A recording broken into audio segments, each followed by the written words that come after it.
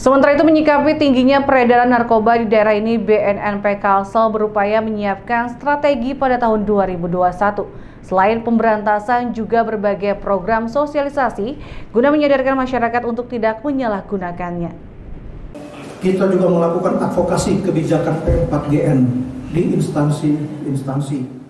Menyikapi tingginya angka kasus peredaran narkoba di daerah ini, BNNP Kalsel mengaku akan menyiapkan berbagai strategi yang dinilai dapat memutus mata rantai peredaran narkoba.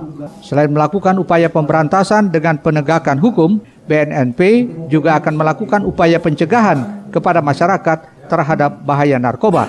Pasalnya dengan begitu, pasar atau permintaan narkoba diyakini akan semakin berkurang dan terputus. Saya akan lebih memprioritaskan kepada uh, sosialisasi, pencegahan, campaign, gitu, penggiat uh, narkoba ya, di seluruh uh, pelosok dengan melibatkan pemerintah daerah, pemerintah provinsi, uh, provinsi, kabupaten sampai di desa-desa untuk kita bisa sama-sama uh, secara terstruktur, sistematis dan masif melakukan upaya-upaya pencegahan sehingga ke depan pasar ini diharapkan semakin kecil, semakin turun bahkan mudah-mudahan doa kita bersama bisa hilang.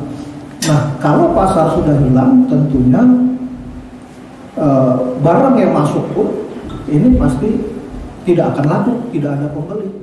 Selain sosialisasi ke berbagai lapisan masyarakat, BNNP Kalsel juga akan memasifkan pencegahan dini dengan melakukan tes urin secara berkala. Sebagaimana tahun ini, BNNP Kalsel juga telah melakukan 6.712 tes urin baik di perguruan tinggi, instansi swasta, pemerintah maupun BUMN. Di samping itu melakukan program rehabilitasi. Tercatat ada sekitar 366 orang menjalani rehabilitasi yang dilakukan di lembaga rehabilitasi pemerintah.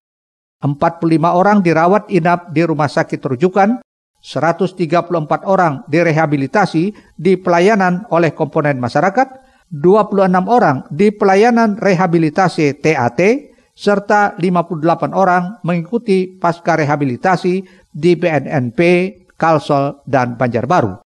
Muhail Banjar TV